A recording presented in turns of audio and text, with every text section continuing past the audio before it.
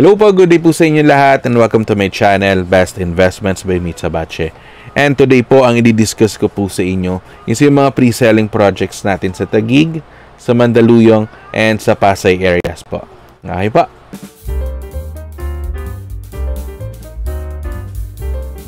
Before we start po, please don't forget to subscribe on my YouTube channel by hitting the subscribe button and the, the notification bell para every time po na nag-upload po ako kay YouTube, eh, mano-notify po kayo. And also please do follow me on my ano po on my Facebook page po by searching DMCA Homes uh, dash uh, Meet Sabache. So nandun po updated rin po, nag-upload din ako doon ng mga uh, latest promos and videos uh, about kay DMCA Homes po. Maraming maraming salamat po. Okay po. So to start off po, ang discuss ko po sa inyo today is yung mga pre-selling projects natin uh, sa Tagig, sa Mandaluyong, and sa, Pasay, sa Pasay City. Okay po. So uh, to start off po, ano-ano po yung mga following projects na yon. Pero before ko pong i-start yung presentation ko, uh, update ko lang po kayo na meron pa rin tayong existing promo for these uh, following projects po. Yung 15% down payment spread until the turnover date uh, plus 12 months and additional 2% discount. Or yung option 2 is yung plus 18 months.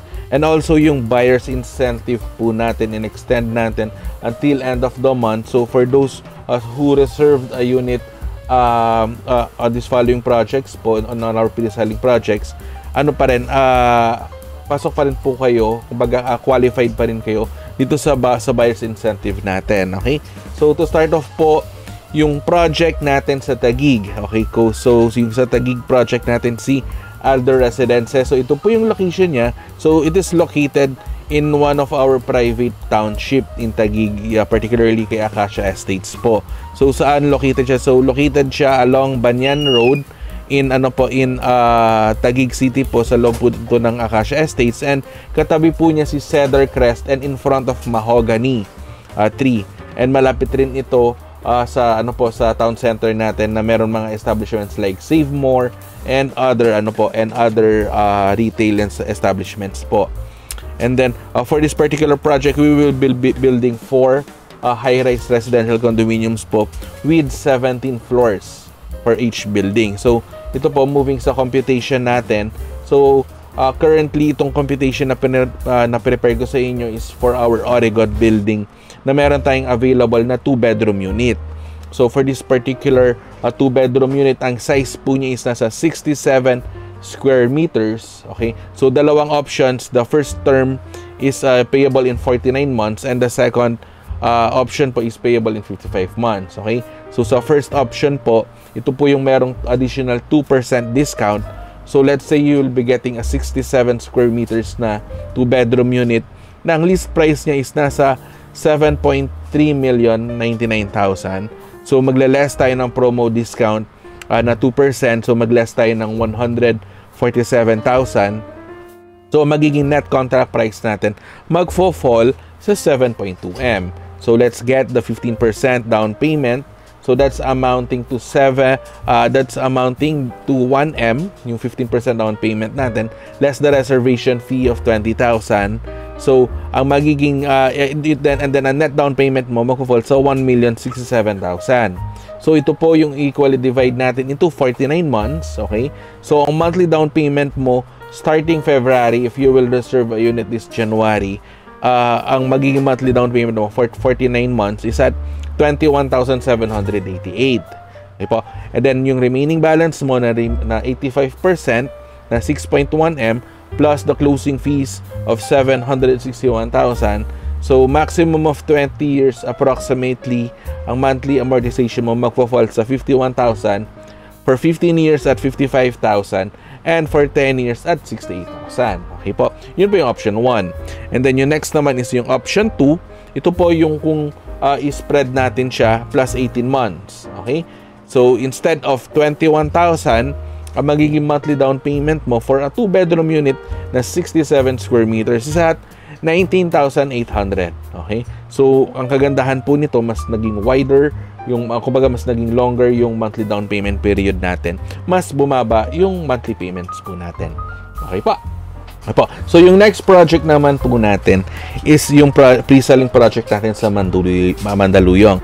So this one is uh, our Japanese inspired okay uh, development uh, sa Mandaluyong and kung familiar po kayo kay Dansalan Gardens katabi po nito yung project natin. So for this project, tatlong high-rise building ito na ang ang ang turnover niya I think mag-start ng 2024 tapos 2025, okay?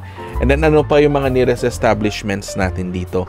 So malapit siya sa MRT, Bonnie Avenue Station. And of course, malapit rin tayo dito sa may Pioneer. Okay, and then also malapit rin po ito doon sa Makati Mandaluyong Bridge. Okay, so for those who are working uh, in Makati and on in this area po, uh, this might uh, require uh, fit your requirement po. So, uh, to show you a sample computation for this project, so tatlong high-rise building siya, si Iko, si Sugi, and si Hinoki. Okay? And then for this computation po, ang ipepresent ko po sa inyo is yung project natin kay, Hin, uh, kay Hinoki Building na meron tayong available na one bedroom unit. Okay? Na ang turnover date po niya is dalawang type. Meron tayong January 2026 and meron tayong uh, July of 2026. So, ito po yung merong additional na 12 months with 2% discount or plus 18 months. Okay? So, for the, for, for the first computation po, uh, for a one bedroom unit na 28 square meters, and it is priced at 5.6M. Okay? And then let's get the less the promo discount ano uh, 112,000. So magiging net contract price mo magfo-fall sa 5.4M. So let's get the 50% down payment amounting to 823,000 less the reservation fee of 20,000.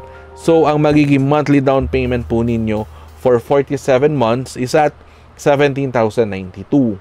Okay po? And then yung remaining balance mo na 85%, yun na po yung ilo-loan natin plus the closing fees na 576,000.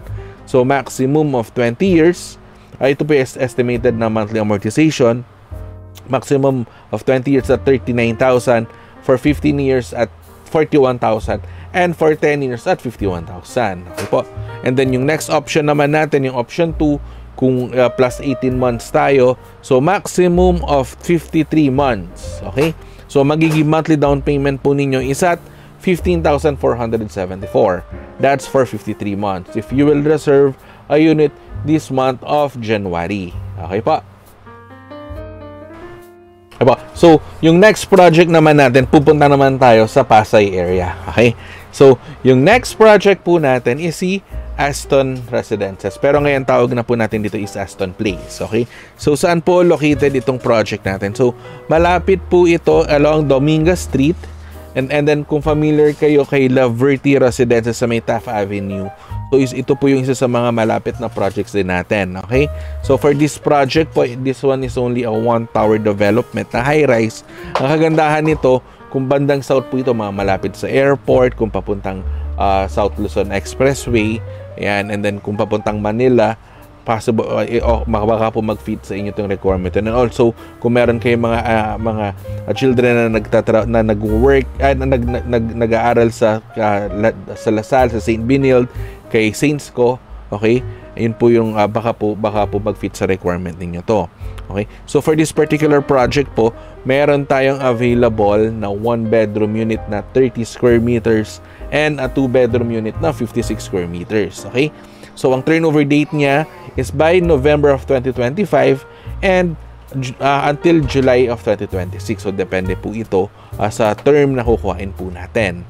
Okay? And then uh, for for the for, for the computation po for a one bedroom unit na 30 square meters and the and it is priced at 5.5 M. So let's get the promo discount okay na amounting to 111,000 and then magiging uh, net contract price mo magpo-fall sa 5.4M. Let's get the 15% down payment amounting to 818. So less the reservation fee of 20,000. So magiging net down payment mo magpo-fall sa 798,000. Okay? Ngayon, ang, ang ang monthly down payments mo for 45 months. Okay? So uh, ang, ang magiging total monthly down payment mo magpo-fall sa 17,741. That's for a one bedroom unit. And then yung remaining balance mo na 4.6M plus the closing fees of 572,000. So estimated na monthly amortization mo mag uh, maximum of 20 years at 38,700 for 15 years at 41,000 and for 10 years at 51,000. Okay po? That's for a one bedroom unit. Ngayon, dito po sa two bedroom unit naman natin na 56 square meters, ang turnover date naman niya is by July of 2026. So, depende po yung turnover dates so depending on the floor. Ngayon, if you want me to present this project to you, nandyan po yung number ko po. Pwede nyo po makontak anytime, okay? So, for the 56, 56 square meters, na two bedroom unit, and it is priced at 7.8 M. Okay? So, less promo discount ito po yung competition na to. Ito po yung dalawang uh, may plus 12 months lang with 2% discount. Okay? So less the less the discount of 156,000. So magiging net contract price mo magfo-fall sa 7.6 M. Okay? Let's get the 15% down payment amounting to 1.1 M less the reservation fee of 20,000. Ang net down payment mo magfo-fall sa 1.1 million. And equally divide natin into 53 months. So for 53 months, ang ang down payment, monthly down payment po ninyo magpo-fall sa 21,270. Okay? And then yung remaining balance mo na 85% na 6.5M plus the closing fees of 800,000. So maximum of 20 years estimated monthly amortization is at uh, 54,381 for 15 years at 58,000 or 10 years at 72,000. Okay pa. So that concludes my presentation uh, for for our project sa Mandaluyong, sa Tagig and sa Pasay. Okay? And if uh, please don't forget po to subscribe on my YouTube channel by hitting the notification bell and uh, the subscribe button para every time po na nag-upload po ako sa YouTube, ay eh, ma-notify po kayo. And uh, kung gusto po ninyo mag-present ako sa inyo on those following projects, nandiyan po yung mga numbers ko po. Uh, you may contact me to Viber, through WhatsApp, uh, through WeChat, okay, and also through Facebook Messenger. Nakalink rin po yung Facebook page ko, saka po yung Facebook ko, uh, dito po sa description po. Uh, if, if i-check nyo na lang po sa baba. Okay po? So, thank you, thank you very much for watching po. And keep safe po. God bless po. Bye-bye po.